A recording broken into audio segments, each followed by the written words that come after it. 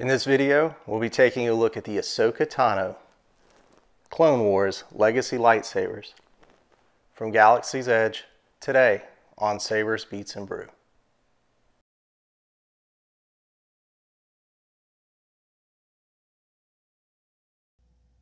So, like other Galaxy's Edge sabers, this one comes in a nice decorative crate. There you see Ahsoka's sigil.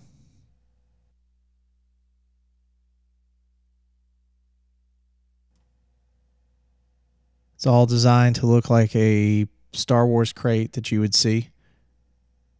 You know, either on the uh, Clone Wars or the TV shows or the movies.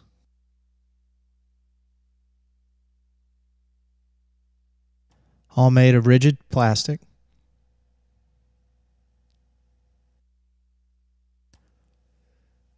Now on the bottom, it gives a description of it where you put the batteries, that this is Ahsoka's Tano's Clone Wars lightsaber, and a few instructions there.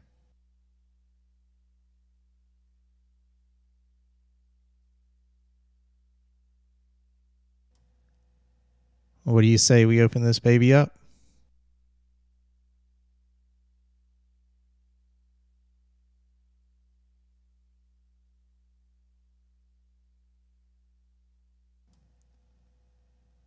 Oh, very cool.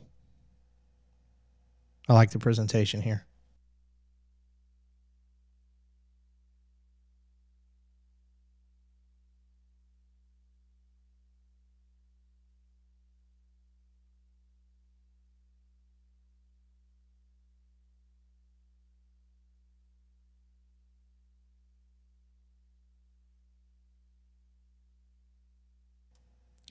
I really love the way this is laid out with the kind of like a black satin uh, pillow like thing that the sabers sit on. It looks very cool.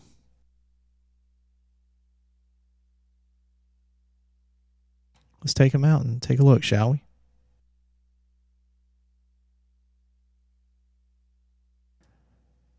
All right, so uh, very cool looking stuff. Little greeblies, real good details typical what you would see of a Galaxy's Edge saber. These hilts are done really well for the price point.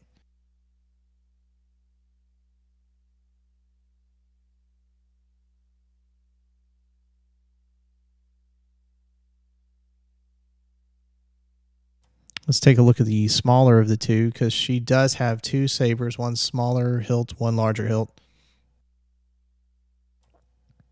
Blade plug.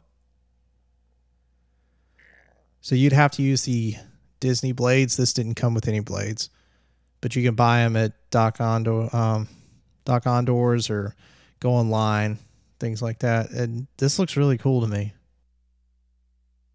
So you got to keep. Oh, check that out, man. So it's to change colors because for most of the Clone Wars she was green, and then in the last season when Anakin gave her her sabers back, they were blue.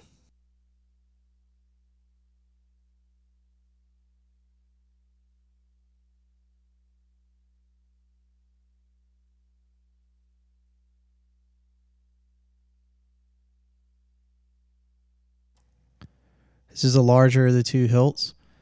I like how it kind of combines an episode one Obi Wan type pommel with sort of like the Graflex style. You've got the on off switch here. We've got you know little greeblies and the the bunny ears, I guess, right there.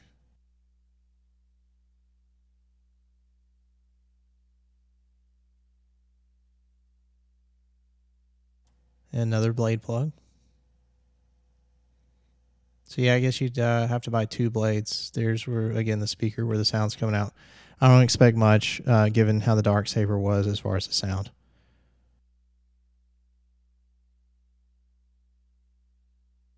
Little side by side comparison.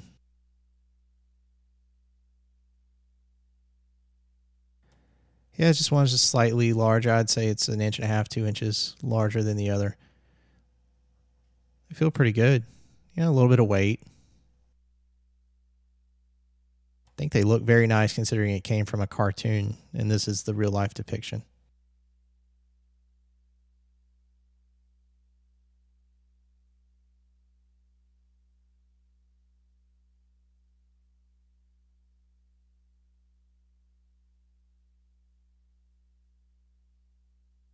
Here you can see them laid out next to each other.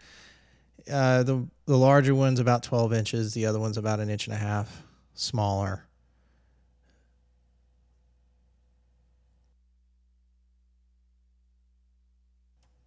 Both look absolutely magnificent.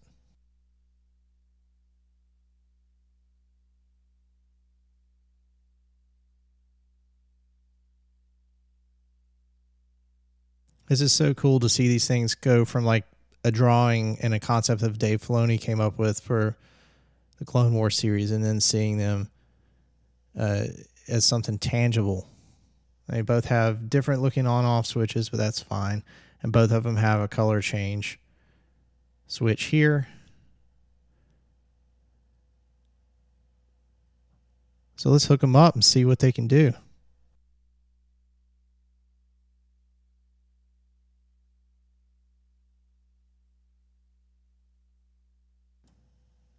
So as usual, I'll uh, mic them up with my warm audio condenser mic, and that'll just uh, run straight into my interface, and that way we can get a good, accurate sound from the uh, from the speakers.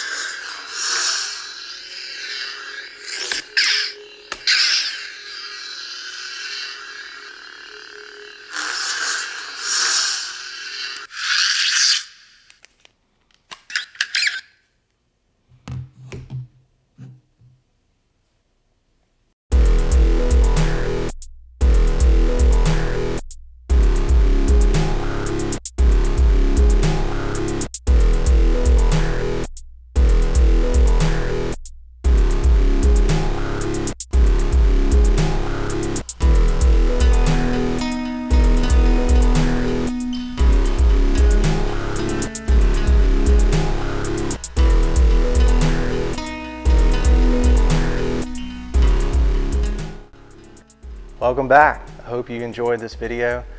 These are uh, really cool lightsabers. Ahsoka's one of my favorite Star Wars characters to come along since the original trilogy. Um, these are really cool. They look cool. Um, they're nice and heavy and they look, I mean, I was just watching the Clone Wars the other day. They look pretty, pretty accurate as far as you can get from a cartoon.